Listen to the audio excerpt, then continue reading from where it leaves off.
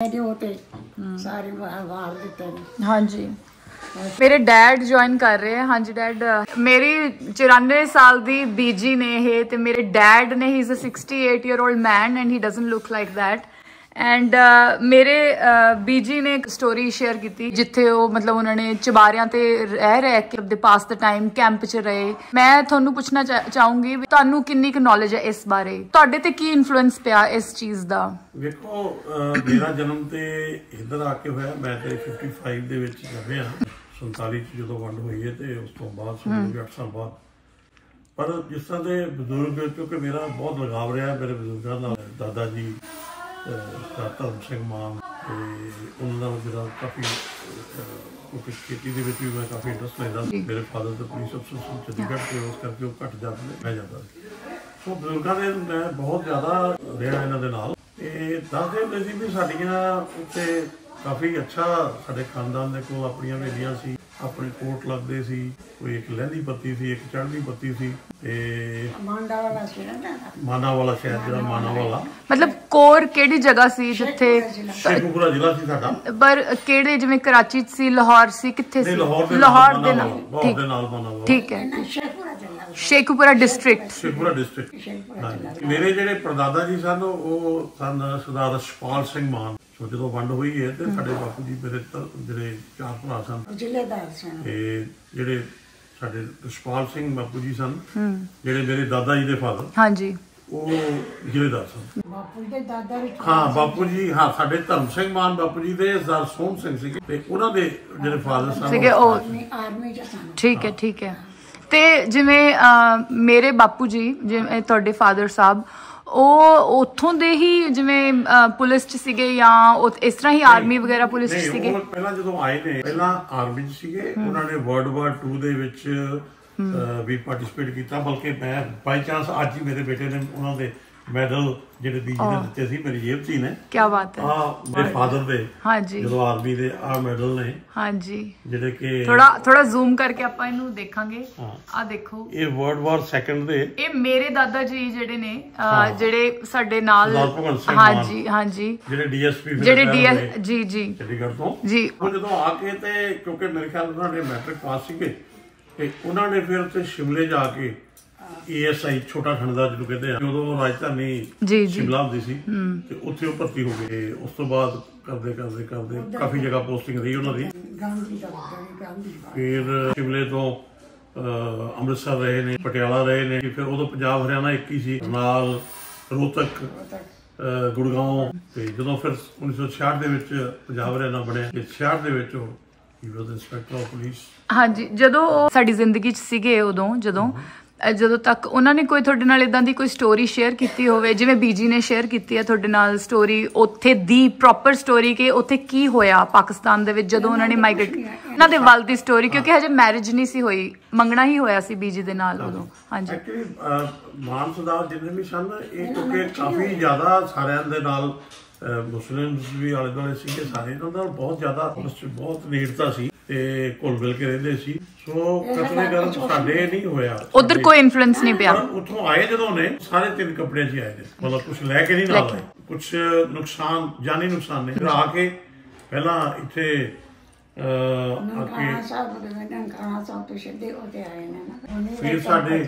Camp ਹੀ ਰਹੇ ਨੇ ਕੈਂਪਾਂ ਚ ਉਹ ਨਹੀਂ ਰਹੇ ਕੈਂਪਾਂ ਨਹੀਂ 'ਚ। ਕੈਂਪ ਵਿੱਚ ਫਿਰ ਉਹ ਸਿਮਰ ਸਿੰਘ ਮਾਨ ਜਿੱਥੇ ਜ- ਹੁਣ ਨੇ ਸਰਹੰਦ ਉੱਥੇ ਸਾਰੇ ਸਾਰਿਆਂ ਨੂੰ ਲਾਰੀਆਂ ਜ਼ਮੀਨ ਅਲਾਟ ਹੋਈ। ਕਿਉਂਕਿ ਜ਼ਮੀਨ ਇੰਨੀ ਜ਼ਿਆਦਾ ਸੀ ਤੇ ਉਹ ਫਿਰ ਜਦੋਂ ਜਮਾਬੰਦੀ ਹੋਈ ਫਿਰ ਸਾਨੂੰ ਕੁਝ ਫੈਮਿਲੀ ਅਸੀਂ ਕਰਨਾਲ ਚਲੇ ਗਏ। ਕਰਨਾਲ ਦੇ ਨਾਲ ਤਰਾਵੜੀ ਤੇ ਨਾਲ ਸਾਡਾ ਪਿੰਡ ਅੱਛਾ ਪਹਿਲਾਂ ਤੁਸੀਂ ਸਰਹੰਦ ਆਏ ਸੀ ਫਿਰ ਉੱਥੋਂ ਤੁਸੀਂ ਕਰਨਾ। Okay okay. ਉੱਥੋਂ ਫਿਰ ਉੱਠ ਕੇ ਸਾਰੇ ਉੱਧਰ ਗਏ। ਇਹ ਫਿਰ ਮਾਨ ਸਾਹਿਬ ਦਾ ਸਿਮਰ ਸਿੰਘ ਮਾਨ ਦੇ ਫਾਦਰ ਇੱਥੇ ਸਰਦਾਰ ਸਿਮਰਨਜੀਤ ਸਿੰਘ ਮਾਨ ਦੀ ਫੈਮਿਲੀ ਦੀ ਗੱਲ ਹੋ ਰਹੀ ਹੈ। ਮਤਲਬ ਡੈਡ ਉਹਨਾਂ ਦੀ ਗੱਲ ਕਰ ਰਹੇ ਨੇ ਜਿਹੜੇ ਬੜੇ ਹੀ ਉੱਗੇ ਔਰ ਬੜੇ ਵੱਡੇ ਪੋਲੀਟੀਸ਼ੀਅਨ ਨੇ ਉਹਨਾਂ ਦੀ ਗੱਲ ਹੋ ਰਹੀ ਹੈ। ਉਹ ਵੀ ਸਾਡੀ ਫੈਮਿਲੀ ਤੋਂ ਹੀ ਬਿਲੋਂਗ ਕਰਦੇ ਨੇ।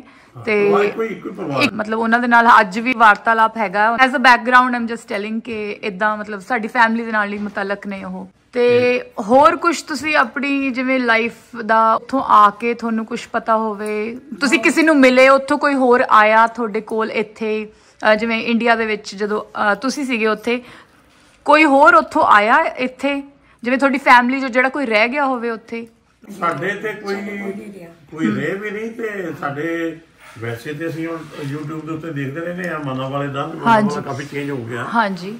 ਤੇ ਹੁਣ ਕਿਤੇ ਸਟੇਸ਼ਨ ਵੀ ਬਣ ਗਿਆ ਤੇ ਉਥੋਂ ਇੱਕ ਬੜਾ ਹਾਈਵੇ ਨੇੜੇ ਜਾਂਦਾ।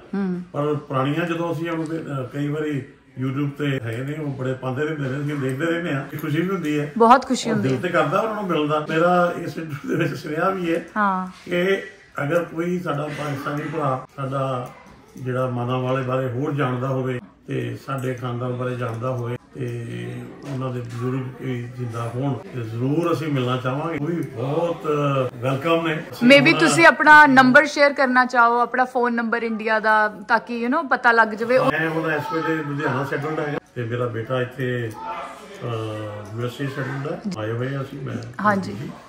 ਤੇ ਮੇਰਾ ਨੰਬਰ ਹੈਗਾ। ਇਹ ਮੈਂ ਡਿਸਕ੍ਰਿਪਸ਼ਨ ਦੇ ਵਿੱਚ ਪਾ ਦਾਂਗੀ ਆਪਣੀ ਵੀਡੀਓ ਦੀ ਕਿਉਂਕਿ dad is a very he just loves to talk to people as well ਤੇ ਉਹ ਬਹੁਤ ਜ਼ਿਆਦਾ ਉਤਸੁਕ ਨੇ ਕਿਸੇ ਨੂੰ you know and he also wants to visit Pakistan actually I know that and ਮੈਨੂੰ ਇਹ ਵੀ ਪਤਾ ਹੈ ਕਿ ਬੀਜੀ ਦਾ ਪਲਾਨ ਬਣਿਆ ਵੀ ਸੀ ਬਟ ਕਿਸੇ ਸਰਕਮਸਟੈਂਸਸ ਦੇ ਕਰਕੇ she had to go somewhere so she could not go to Pakistan ਇਹ ਜਾ ਨਹੀਂ ਸਕੇ ਪਾਕਿਸਤਾਨ ਪਰ ਬੀਜੀ ਦੀ ਖਾਹਿਸ਼ ਸੀਗੀ ਕਿ ਮੈਂ ਪਾਕਿਸਤਾਨ ਜਾਵਾਂ ਇੱਕ ਅਸੀਂ ਵਾਰ। ਹੁਣੇ ਰੀਸੈਂਟਲੀ ਸਾਰੀ ਫੈਮਿਲੀ ਸਿਸਟਰ ਸਾਰਾ ਆਏ ਸਨ ਤੇ ਅਸੀਂ ਕਰਤਾਰਪੁਰ ਸਾਹਿਬ ਕਰਤਾਰਪੁਰ ਹੋ ਕੇ corridor, ਆਏ ਹਾਂ। ਹਾਂਜੀ, ਹਾਂਜੀ। ਬੜਾ ਅੱਛਾ ਲੱਗਾ ਬਹੁਤ ਵਧੀਆ ਸਾਨੂੰ ਬੜਾ ਵਧੀਆ ਪਿਆਰ ਮਿਲਿਆ ਉੱਥੋਂ ਪਾਕਿਸਤਾਨੀ ਸਾਡੇ ਵੀਰ ਸਨ। ਬਹੁਤ ਦਿਲ ਖੁਸ਼ ਹੋਇਆ ਕਿ ਉਹਨਾਂ ਨੇ ਸਾਡੇ ਕੋਲ ਧਾਮ ਬਹੁਤ ਅੱਛੇ ਤਰੀਕੇ ਨਾਲ ਸੰਭਾਲਿਆ। ਹਾਂਜੀ। ਮੈਨੂੰ ਇਹ ਵੀ ਪਤਾ ਹੈ ਕਿ ਇੱਥੇ ਵੀ ਤੁਹਾਡੇ ਕੁਝ ਇਹੋ ਜਿਹੇ ਦੋਸਤ ਨੇ ਜਿਹੜੇ ਉੱਥੋਂ ਬਿਲੋਂਗ ਕਰਦੇ ਨੇ ਹੈਨਾ? ਤੁਸੀਂ ਉਹਨਾਂ ਲੋਕਾਂ ਨੂੰ ਵੀ ਮਿਲਦੇ ਹੋ। ਉਹ ਵੀ ਸਾਡੇ ਵਰਗੇ ਹੀ ਨੇ। ਅਸੀਂ ਉਹਨਾਂ ਦੇ ਨਾਲ ਉਸ ਤਰ੍ਹਾਂ ਹੀ ਰਹਿੰਦੇ ਆ ਜਿਵੇਂ ਅਸੀਂ ਸਭ ਸੇਮ। ਨੇ। ਹਾਂਜੀ ਹਾਂਜੀ। ਅੱਛੀ ਅੱਛਾ ਜੇ ਕੋਈ ਪਾਕਿਸਤਾਨੀ ਵੀਰ ਸਾਡੇ ਕੋਲ ਆਉਣਾ ਵੀ ਚਾਹੇ ਸਾਡੇ ਪਿਛੋਕੜ ਬਾਰੇ ਵੀ ਦੱਸੇ। ਇੱਥੇ ਵੀ ਕੋਈ ਉਹਨਾਂ ਦਾ ਹੋਵੇ ਹਾਂਜੀ। ਤਾਂ ਅਸੀਂ ਉਹਨੂੰ ਲਿਜਾ ਕੇ ਸਾਡੇ ਕੋਲ ਧਾਮ ਜਿਹੜੇ ਜਾਂ ਉਹਨਾਂ ਦੀਆਂ ਜਿਹੜੀਆਂ ਇੱਥੇ ਸਾਰੀਆਂ ਸਭ ਨੂੰ ਬੁਲਾ ਕੇ। ਅੱਛਾ ਲੱਗਦਾ। ਬਹੁਤ ਅੱਛਾ ਲੱਗਦਾ ਹੈ। ਸਭ ਤੋਂ ਵੱਡੀ ਗੱਲ ਤੇ ਇਹ ਹੈ ਕਿ we have my grandmother in our life and ਇਹਨਾਂ ਦਾ ਸਾਡੀ ਲਾਈਫ ਦੇ ਵਿੱਚ ਇੰਨਾ ਇਨਫਲੂਐਂਸ ਰਿਹਾ ਹੈ ਔਰ ਇੰਨੀ ਬਲੇਸਿੰਗਸ ਨੇ। ਤੇ ਬੀਜੀ ਤੁਹਾਡੇ ਕੋਈ ਲਵਜ਼ ਤੁਸੀਂ ਸ਼ੇਅਰ ਕਰਨਾ ਚਾਹੋ? ਮਤਲਬ ਸਾਡੇ ਪਿੰਡ ਵਿੱਚ ਸਿਰਫ ਅਸੀਂ ਸਾਰੇ ਪੈਨਸ਼ਨ ਜਿਹੜਾ ਚੈੱਕ ਕਰਕੇ ਨਾ ਜਿਹੜੇ ਸਾਰੇ ਉਧਰੋਂ ਆਏ ਆ ਸਾਡਾ ਅਹ, ਕੰਮ ਹੀ ਹੈਗਾ ਸਭੀ ਨਹੀਂ ਸੀ ਹੋਰ ਇਹ ਸਾਡੇ ਪਿੰਡ ਤਿੰਨ ਮਟਵਾਰੀ ਉੱਥੇ ਸੀ ਚਲੇ ਮਤਲਬ ਸਾਡਾ ਪਿੰਡ ਬਹੁਤ ਮਤਲਬ ਰਾਈਸ਼ਾਂ ਦਾ ਚੱਕ ਸੀਗਾ।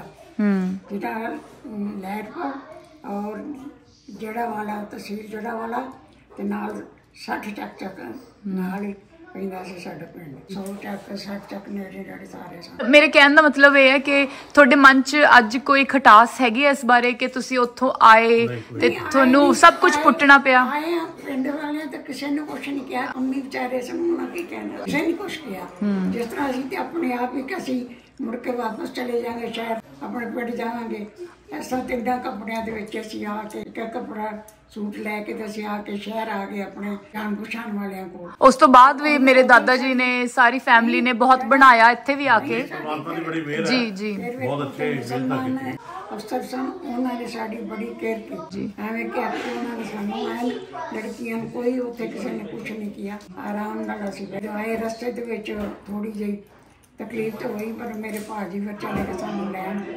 ਉਹ ਵੀ ਤੇ ਦਾਦਾ ਜੀ ਮਿਲ ਪਏ ਉਹਨਾਂ ਨੂੰ ਉਹਨਾਂ ਦੱਸਿਆ। ਸਾਡੇ ਮਾਮਾ ਜੀ ਇਹਨਾਂ ਨੂੰ ਲੈ ਕੇ ਆਏ। ਹਾਲਾਂਕਿ ਉਦੋਂ ਬੀਜੀ ਦਾ ਵਿਆਹ ਨਹੀਂ ਸੀ ਹੋਇਆ। ਆਰ ਆਰਮੀ 'ਚ ਹੋਣ ਕਰਕੇ ਉਹ ਵੀ ਆਪਸ 'ਚ ਮਿਲ ਪਏ ਨਾ। ਫਿਰ ਆਪਣੀ ਥ੍ਰੀ ਟਨ ਲੈ ਕੇ ਜੇ ਥ੍ਰੀ ਟਨ ਹੁੰਦੀ ਹੈ ਕਿ ਹਾਂਜੀ। ਉਹ ਜਾ ਕੇ ਤੇ ਇਹਨਾਂ ਨੂੰ ਸਾਨੂੰ ਉੱਥੋਂ ਲੈ ਕੇ। ਬੜੀ ਸਟਰੋਂਗ ਤੇ ਹਿੰਮਤੀ ਸਟੋਰੀ ਹੈ ਇਹ ਜਿਹੜੀ ਤੁਸੀਂ ਬੜੀ ਆਮ ਲਫ਼ਜ਼ਾਂ 'ਚ ਮੈਨੂੰ ਦੱਸ ਰਹੇ ਹੋ ਕਿਉਂਕਿ ਲੋਕ ਅੱਜ ਕੱਲ ਰੋ ਪੈਂਦੇ ਆ ਉਹ ਵੀ ਸੋਚ ਕੇ। ਬਹੁਤ ਇੰਨੀ ਵੱਡਾ ਕੱਟੀ ਕੇ ਜ਼ਿਆਦਾ ਹੋਈ ਥੋੜੀ ਦੁਨੀਆ ਇਹ ਪਿੰਡ ਵਾਲੇ ਦਾ ਕੋਈ ਕੋਈ ਨਹੀਂ। ਸਾਡੇ ਇਲਾਕੇ ਦਾ ਨਹੀਂ ਸਨ ਉੱਪਰ ਜੰਗਲੀ ਸਨ ਜਾਂ ਇਧਰ ਦਾ ਚਾਲੀ ਚੱਕ ਵੱਲ ਤੇ ਉਧਰ। ਹਾਂਜੀ। ਉੱਪਰੋਂ ਵੀ ਦੁਨੀਆ ਦਾ ਪਤਾ ਨਹੀਂ ਕਿੱਥੇ ਹਾਂਜੀ ਹਾਂਜੀ। ਸਾਨੂੰ ਤੇ ਮਾਰਾ ਇੰਨਾ ਹੱਥ ਦੇ ਕੇ ਰੱਖੋ।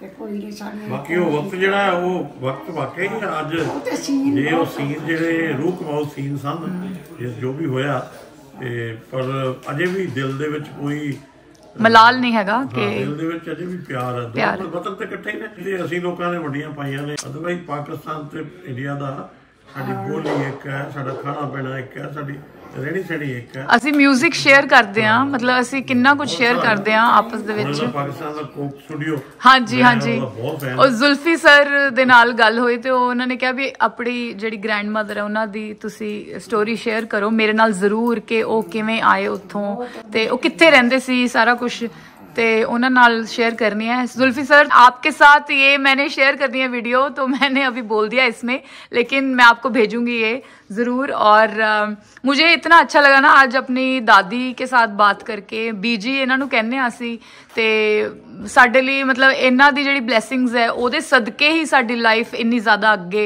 ਸਭ ਸਾਰੀ family like we are a huge family and we all respect and love her so so much because ਇਹਨਾਂ ਦਾ ਹੱਥ ਸਾਡੇ ਸਿਰਾਂ ਤੇ ਹੈਗਾ ਹੈ ਔਰ 100 ਤੋਂ ਉੱਤੇ ਸਾਲ ਤੱਕ ਰਵੇ, ਅਸੀਂ ਕਹਿੰਦੇ ਆ she is 94 at the moment ਔਰ ਮੈਂ ਇਹਨਾਂ ਨੂੰ 10 ਸਾਲ ਬਾਅਦ ਮਿਲੀ ਆ ਅੱਜ ਮੇਰੀ ਗਲਤੀ ਹੈ। ਮੈਨੂੰ ਕਰਨਾ ਨਹੀਂ ਚਾਹੀਦਾ ਸੀ ਇਦਾਂ ਪਰ ਮੈਂ ਹੁਣ ਕੋਸ਼ਿਸ਼ ਕਰਾਂਗੀ, ਮੈਂ ਤੁਹਾਨੂੰ ਜਲਦੀ ਜਲਦੀ ਮਿਲਾਂ, ਮੈਂ ਜਲਦੀ ਜਲਦੀ ਮਿਲਾਂ।